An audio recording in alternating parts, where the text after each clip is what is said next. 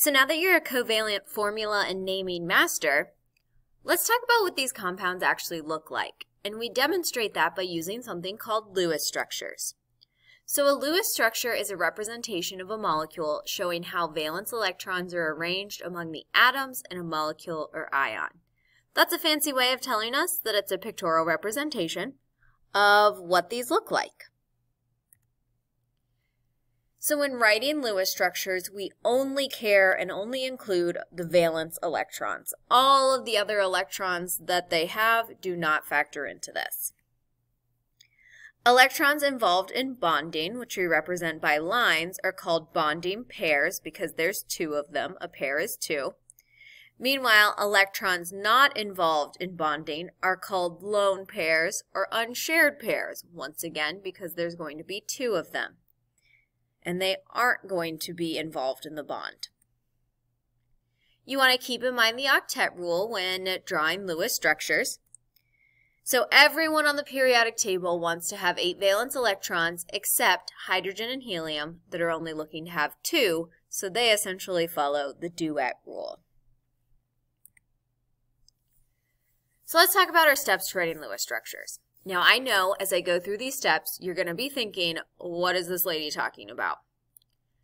However, I guarantee you as we practice them and as we work with them, you're going to realize Lewis structures are super easy and you've got this. So in step number one, you're going to calculate the total number of valence electrons you need, which you're going to hear me referring to as what is your need. Hydrogen helium need two. All other elements need eight. So you're going to do your calculations, multiply if you have multiple of something, and you're going to add them all together to get your total need of electrons. Then you're going to calculate the total number of valence electrons you have, which you'll hear me refer to as the have. This is the number of valence electrons each element has according to the periodic table. So that's that 1, 2, 2, 3, 4, 5, 6, 7, 8 as we move across the periodic table. Once again, if you have multiple of something, you multiply its valence electrons by how many of it you have. And then you're going to add all of these together to get a have number. You will then subtract whatever you got from need and then subtract the have from it to get what I will be referring to as your share number. This is the number of electrons that are going to be shared between those elements. You're going to divide that share number by 2 because remember each line in a Lewis structure is going to represent two electrons. And that's going to tell you how many lines to draw. So your share divided by 2 tells you how many lines you're going to draw. So then you want to look at your formula and you have to figure out which atom is going to be your central atom. The first element in the formula is usually your central atom. The main exception to this is hydrogen, which cannot be a central atom. In which case, you're going to go to your second element and use that as your central atom. You're going to write this element. Then you're going to write the remaining elements as symmetrically as possible around the central atom. You want everything to look even because molecules like to be even. Then you're going to draw the appropriate number of lines, the lines you determined from step three, to connect the central atom to the other atoms. Keeping in mind each of those lines represents two electrons.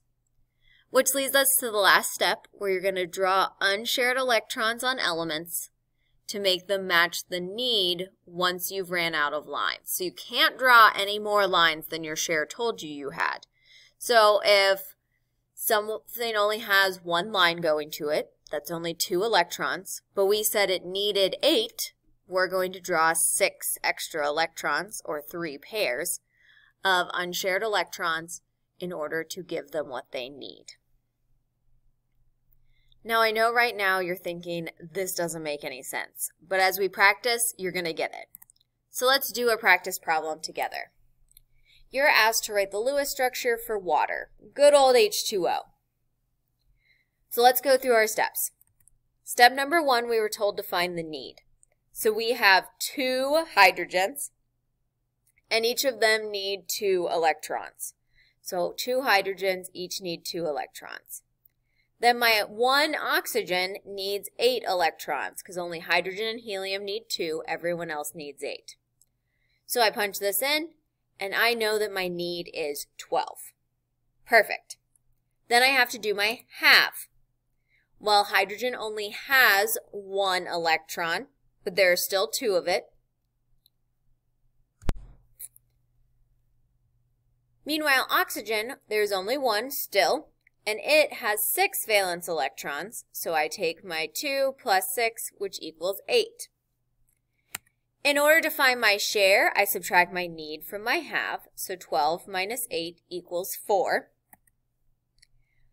I then divide my share in half in order to figure out how many lines I'm going to draw, so 4 divided by 2 tells me I can draw 2 lines. So what's the central atom going to be? It's going to be oxygen, because remember we said it was our first element unless that first element is hydrogen, in which case we go to our second element. So our first element was hydrogen, so we move on to that second element. So I'm going to place the oxygen in the center and draw hydrogen one off either side because I want it to look symmetrical. So I'm going to put them all in a straight line and I'm going to draw a line from one hydrogen to the oxygen and from one hydrogen to the oxygen. So hydrogen only needs two electrons. So if it has a line going to it, that represents two electrons, which means it doesn't need any more.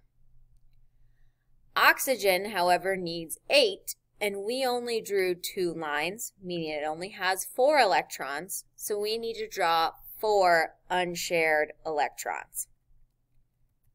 So once we do that, we'll have a correct answer that looks like this. So we put our oxygen in our center.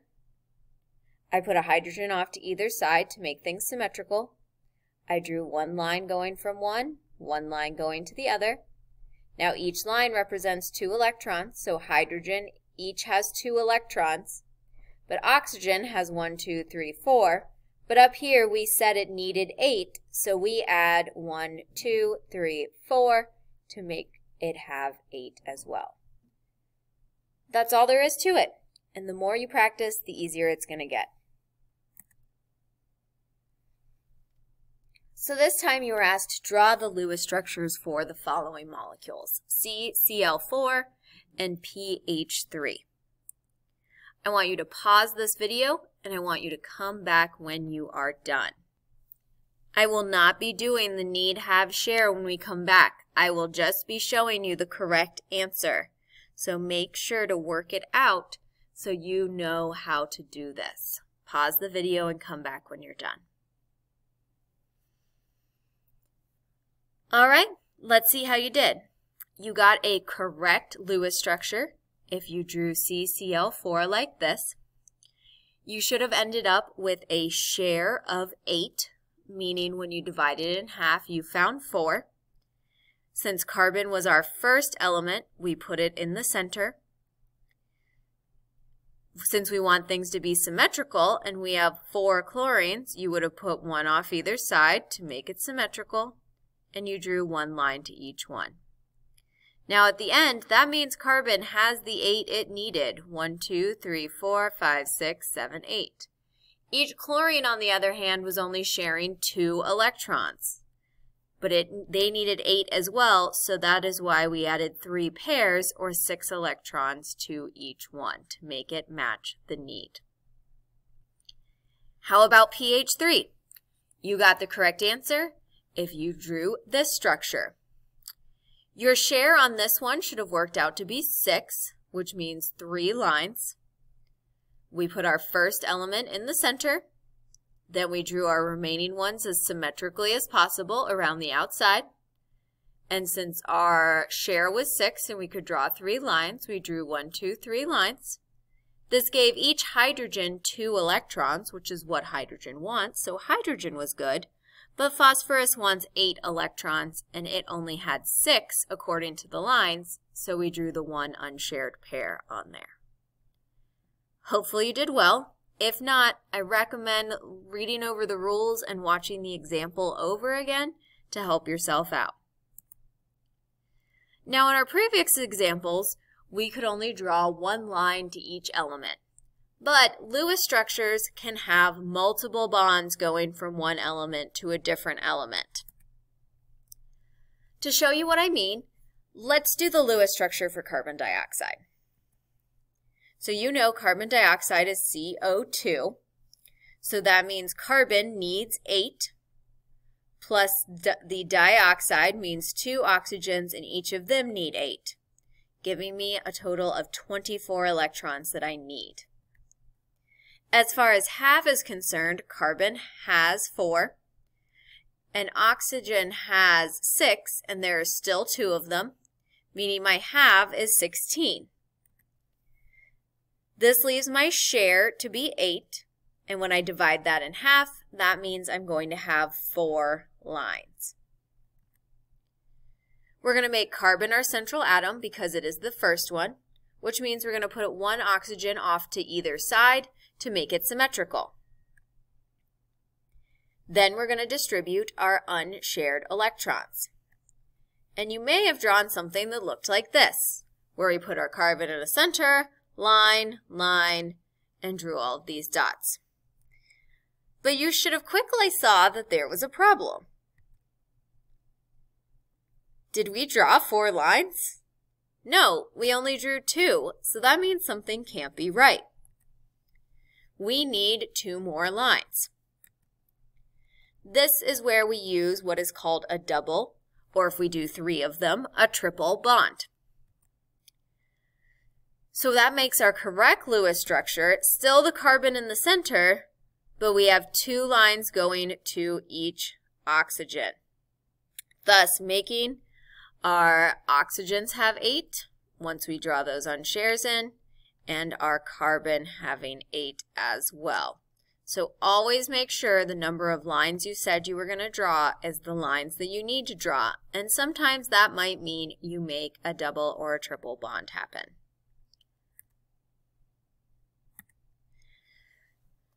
So a single bond is a covalent bond in which one pair of electrons is shared by two atoms.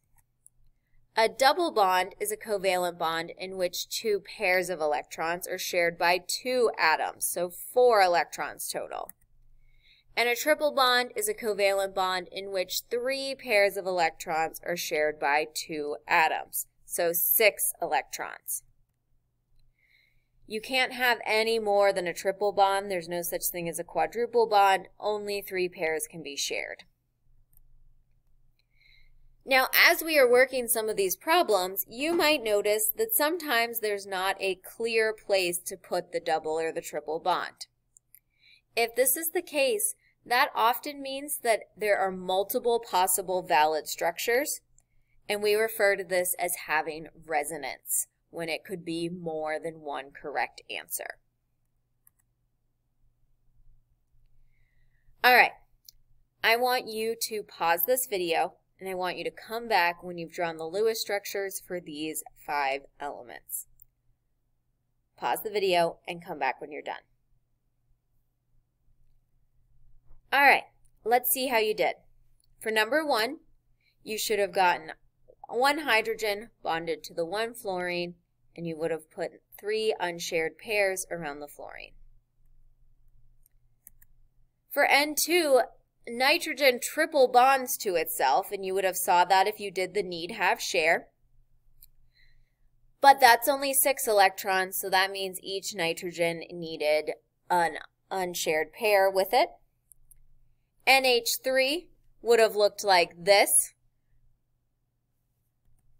CH4 looks like this, where we don't have any unshared pairs because everyone with just the lines had the amount of electrons they needed. Meanwhile, CF4 doesn't work out that way because fluorine needs 8, so it gets those unshared electrons. How'd you do? We're going to be practicing with these in class, and practice makes perfect, but if you didn't get any of these right, I highly recommend you go back and watch this again so you can um, correct your mistakes before they get too ingrained. Have a great day.